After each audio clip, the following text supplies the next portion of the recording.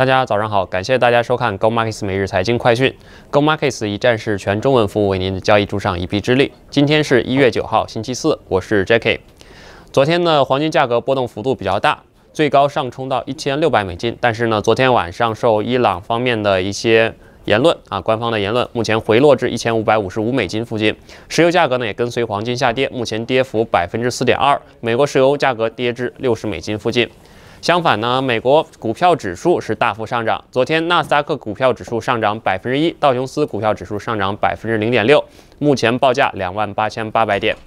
那么澳元对美元呢，在外汇方面呢，依旧是盘整，目前是零点六八七零。那么今天我们的主要内容呢，还是跟伊朗和美国有关。那么这两个国家目前呢是全球关注的一个焦点，尤其是伊朗啊，前段时间把美国的这个伊拉克基地给炸了一下。那么美国在此之前呢，也是把伊朗的将军给炸了。所以呢，双方在武力方面呢是已经真刀真枪的啊，相互有较量了。所以呢，黄金价格呢也是一飞冲天。其实，在我们来看的话，我们要知道的就是美国和伊朗的冲突能不能短期内得到解决，那么其背后的根本原因到底是什么？伊朗呢，作为一个在过去已经存在了几千年的一个国家，但是美国呢，也只是存在了几百年，所以呢，双方呢本质上会有一些文化和啊宗教，甚至是信仰上的一些差异。那么这些差异呢，短期内是不会改变的。对于伊朗这个曾经辉煌过的国家来讲，那么现在呢，也是想要。再次辉煌，很简单的理由啊，因为对于中国来讲，我们作为华人，在过去呢也是这样的，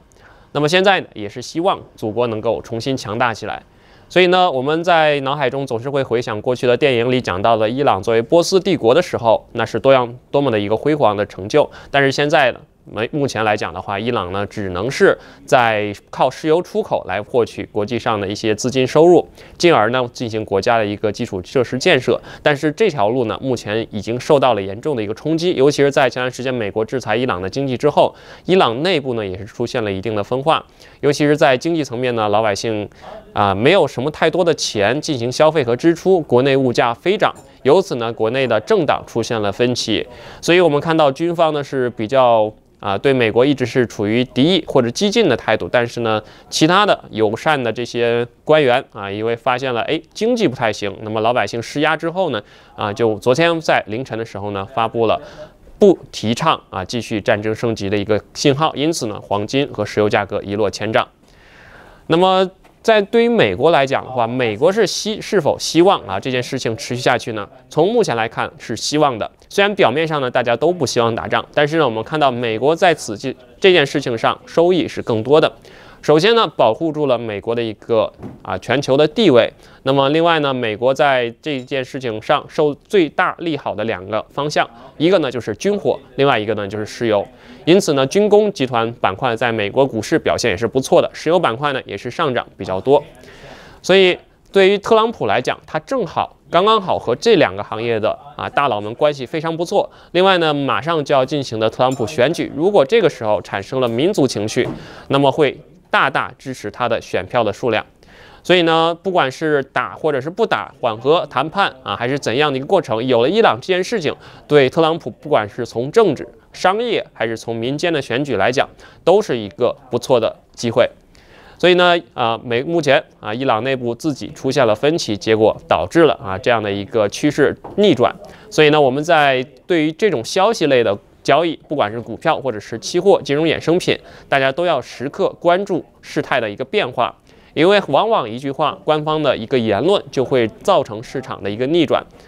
那么除此之外呢，我们就要看一下，在过去一年里面，我们长期推荐的黄金和石油上涨。那么假设没有这次事件，那么最后的结果会是怎样？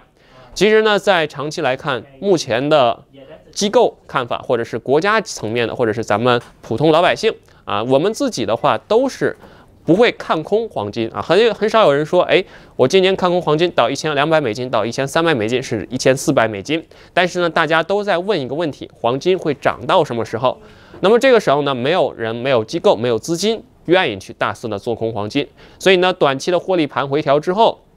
大家就要注意基本面是否会发生变化。那么这一次的突发上涨，受到这种利多黄金的因素支撑。那么在消化之后啊，经过三到四天的一个消化和熄火，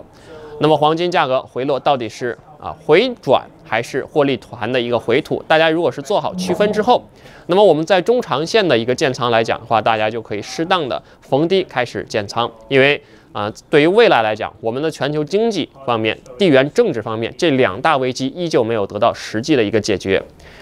所以呢，除了我们作为普通老百姓啊，越跌越买，越涨也越买。所以黄金价格不管是高还是低，总会有实际的一个 physical 黄金的一个买盘支撑。对于机构来讲的话，在股票市场上、债券市场上投入了大量的资金，那么避险的产品比较有限，黄金呢当然首当其冲。如果全球继续印钱的话，资产价格会上涨，那么大家要保值，黄金依旧是不错的一个配置上的选择。因此呢，始终会有一部分资金会在此。